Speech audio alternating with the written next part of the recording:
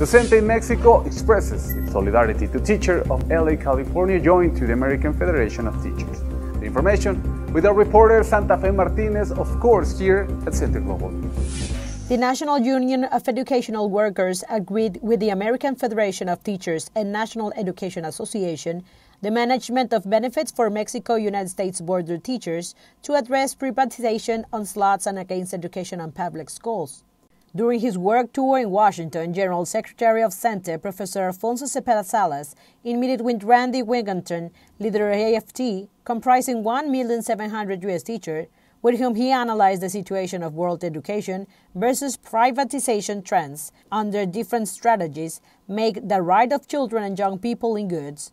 They agreed in this context guarantee the right to education for migrant children, develop actions to give voice to teachers to use their experiences in favor of population and defend their social causes in a global scenario that threatens democracy and universal values.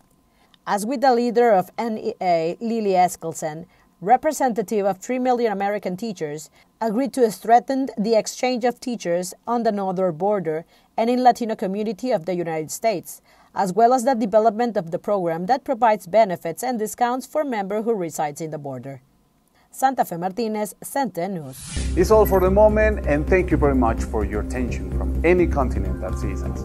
I'm Salvador Martí. This was SNTE Global News, and right here and now, you are informed.